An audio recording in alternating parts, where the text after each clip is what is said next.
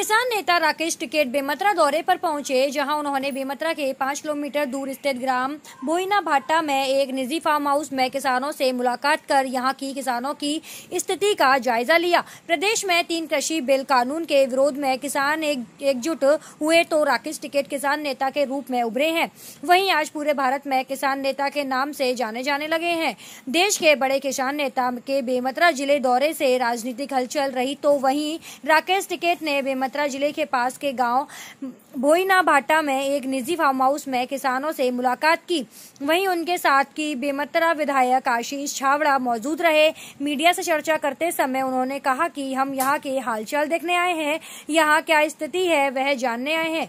आज पूरे देश में तीन कृषि कानूनों के चलते गंभीर गंभीर स्थिति है। जब तक एमएसपी में गारंटी कानून नहीं बनता, तब तक किसानों का आंदोलन जारी रहेगा। आए, यहाँ के हालचाल देखने आए। ग्राउंड की क्या रिपोर्ट है वो देखने आए। और हालात तो पूरे देश के किसान का खराब है। जब तक एमएसपी पे गारंटी कानून नहीं बनेगा तो किसानों को लाभदायी होगा।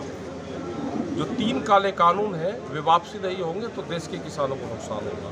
ये सब पंजाब से लगा के और पूरे देश के दौरे हमारे सिरसा जी हैं, पूरे बड़े लीडर हमारे हैं। पूरे देश भर में जाते हैं, पूरी दुनिया की पॉलिसी के बारे में इनको जानकारी है। ये बताते हैं कि क्या सफ़र पंजाब से लगा के और केरल तक का किसान कर रहा है। तो ये बताते हैं ठीक है, सर।